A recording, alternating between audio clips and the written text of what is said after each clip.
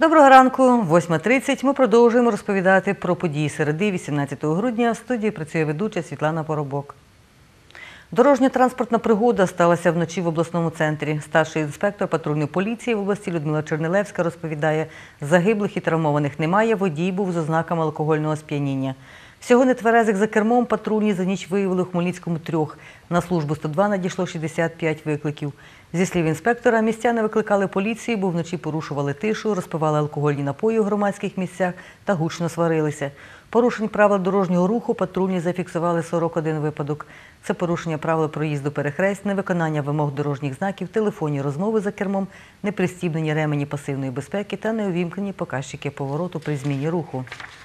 Троє дітей народилися сьогодні вночі у Хмельницькому перинатальному центрі, розповідає чергова акушерка приймального відділення Лідія Ланкевич. Це хлопчик та дві дівчинки. Найбільша вага малюка 3 кг 900 грамів, найменша 2 кг 850 грамів.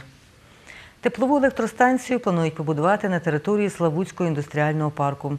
Працюватиме вона на дровах і з непромислових порід дерев. Від такої деревини лісівники щороку вичищають лісові масиви та дешево продають її.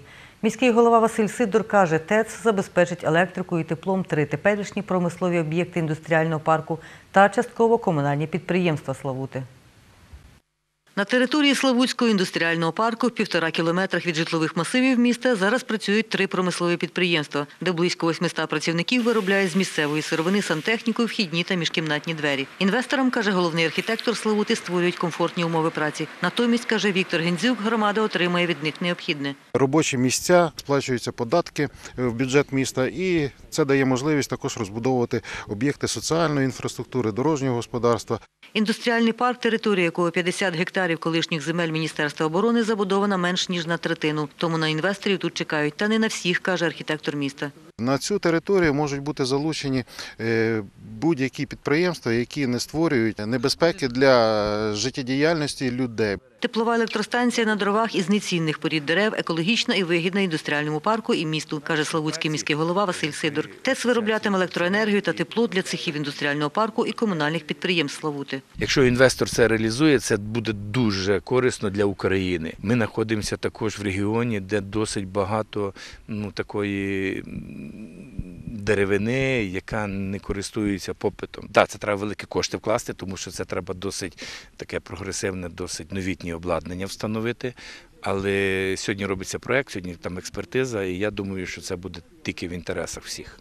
Розбудову інфраструктури індустріального парку розпочали з бетонних доріг, які, каже міський голова, призначені для вантажівок. Витримують 50-60 тонн, мають гарантію на 50 років. Ділянка дороги біля парку шириною 7,5 метрів та площею близько 22 тисяч квадратних метрів наполовину фінансувалася з міського бюджету. А ця дорога на в'їзді в парк не коштувала громаді ні копійки. Василь Сидор каже, міська рада уклала договір із українським виробником цементу на рекламу його продукції, за що отримала безкоштовно 350 тонн цементу, з якого в Славуті виготовили металобетонне 22-сантиметрове покриття. Мали базу, що ми з ними пішли на зустріч, тому що ми гарантували, що ми ці, е, їхню благодійність використаємо по призначенню. Тракторами, танками їдьте і нічого їй не буде. Нам немає потребності купляти ні в Росії, ні в Білорусі бітум. Нагадаю, індустріальний парк почали будувати в 2013-му і планують його розширити, залучити інвесторів, здатних створити максимальну кількість робочих місць для 36-тисячного міста та не нашкодити довкіллю. Світлана Поробок, Віктор Кривий. Новини на Суспільному. Хмельниччина.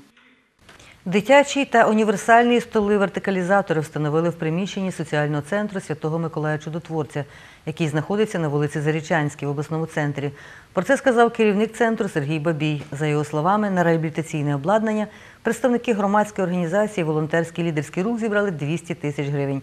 Універсальний стіл-вертикалізатор призначений для людей будь-якого віку. Основна його функція лежачу людину перемістити в вертикальне положення. лежачі діти, дітки з ДЦП з різними ураженнями, в них е, не формуються внутрішні органи або різні процеси, тобто е, кровоток крові там і інші. Так як в нас, коли ми ходимо у вертикальному положенні, це дає тройні ускладнення в дитини до додатково до її основної нозології, якби. І відповідно для того, щоб ці е, мінімізувати або попередити, е, потрібен стіл-вертикалізатор. Тобто, це коли е, дитина або людина закріплюється в ньому, сам стіл він вертикально піднімається, і вже тоді відповідно дитина знаходиться в вертикальному положенні. В неї вже функціонує внутрішні органи і всі системи так само відповідно, як в нас. Ну а в період розвитку дитини це є надзвичайно важливим. Сільськогосподарський ярмарок проведуть у Хмельницькому до новорічно-різдвяних свят 21 грудня. Розташується торгівля на вулиці Прибузькій на відрізку від вулиці Кам'янецької до вулиці Свободи.